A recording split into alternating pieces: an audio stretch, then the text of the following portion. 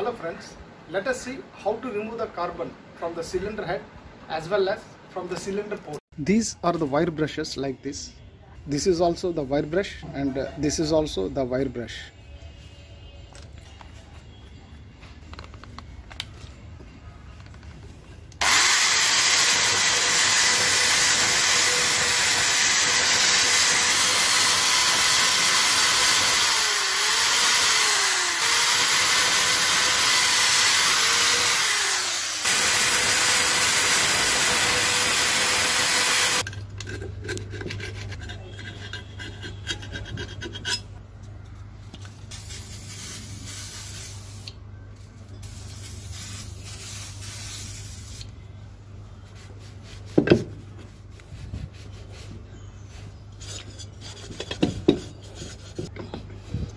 That's all. It is very simple.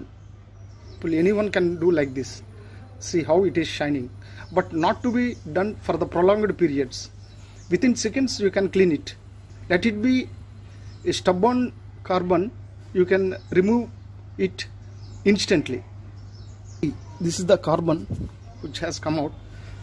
Let us see from the cylinder bore. There is a carbon on all the sides. This is the cylinder bore.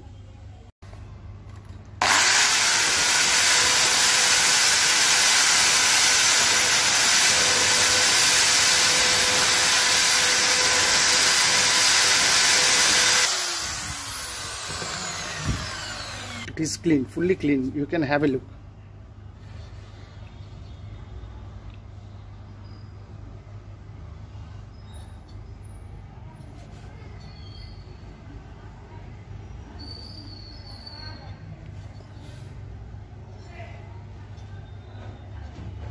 it's done.